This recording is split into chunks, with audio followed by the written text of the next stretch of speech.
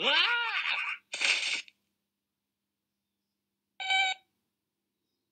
I am being safe. Dear Tim and Moby, what are national parks? Are they just bigger than regular parks? Curious, Adrian. Hey, Adrian. It's true that a lot of national parks are huge. The biggest, Wrangell St. Elias, can fit the entire state of Massachusetts inside it, with room to spare for Delaware and Rhode Island. But size alone isn't what defines them. A national park is a specific type of protected area. That's a piece of land with special laws against development. Like, you couldn't just build a new home or business there. It's public land, meaning it belongs to all of us. So our representatives in government decide how best to use it on everyone's behalf. National parks are chosen based on the things you can see and do there. Some have crazy rock formations, like the hoodoos of Bryce Canyon. Arches Park has thousands of stone gateways formed by millions of years of erosion, and Carlsbad Caverns is filled with bizarre mineral formations. Trekking through its caves is like taking a voyage to an alien planet. Other parks support unusual ecosystems with all sorts of rare wildlife, like this blind shrimp that lives only in the underground pools of Mammoth Cave, or the West Indian manatees that take refuge in Biscayne Bay, and this cute little dude, the Pacific fisher.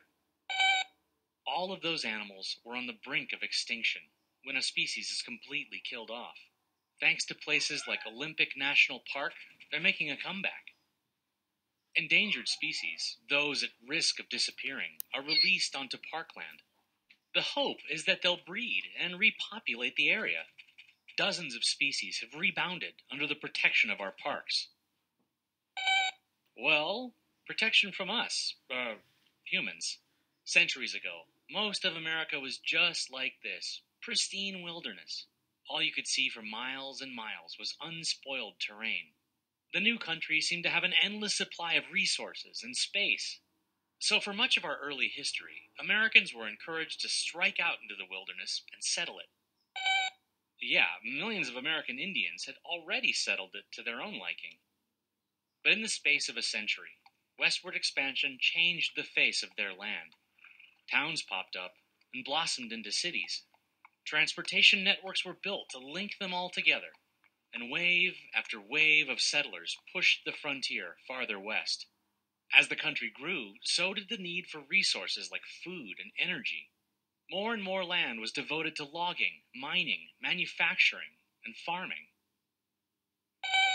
By the late 1800s, the country stretched from sea to sea. Suddenly, America's resources didn't seem quite so limitless anymore. Forests could be wiped out, streams polluted, animals hunted to extinction. What's more, natural wonders could be ruined. Americans had already seen that happen to Niagara Falls earlier in the century. The land around the falls had been sold in pieces to private developers. So, while the Canadian side remained pristine, the U.S. side was marred by souvenir shops, litter, and logging. Nobody wanted the same fate to befall the wonders of the West. Most Western land was already owned by the federal government. So in 1872, Congress created our first national park in the Rockies.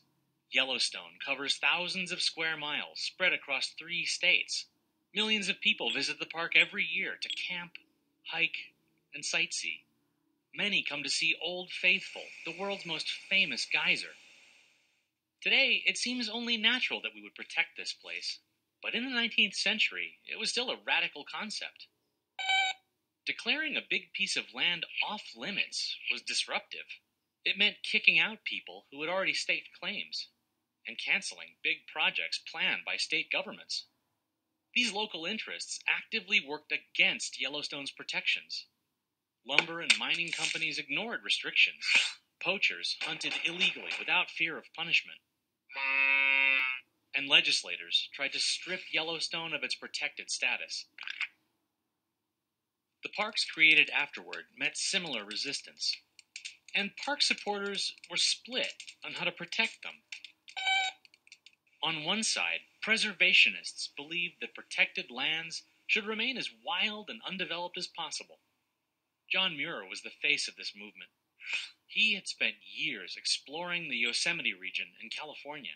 His best selling books described the spiritual value of simply being in nature. They were a big part of why Yosemite was declared a national park. On the other side, conservationists thought protected areas should be lightly developed to encourage tourism. Logging, mining, and such would be allowed, but only with strict regulations. Theodore Roosevelt was an early champion of these ideas. As president, Roosevelt set an agenda for land use that lasts to this day. He created five national parks, as well as hundreds of national forests and game preserves. Smaller sites were also set aside for their natural beauty or their significance to history and science.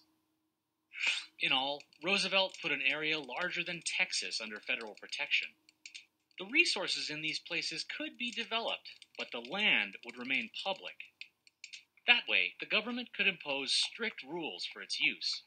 A decade later, Congress created the National Park Service. Its army of rangers and park police kept protected areas clean and enforced the rules. Today, there are 59 national parks and thousands of protected areas. More than a quarter of all U.S. land falls under some kind of federal protection.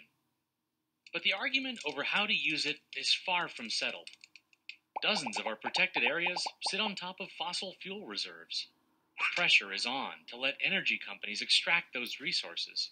That could mean a sell off of federal lands to private businesses, or relaxing laws put in place to prevent pollution. Well, it's up to each generation to strike a responsible balance. We're lucky these places were managed so well for us to enjoy. We ought to do all we can to pass them on to future generations. I couldn't have said it better myself.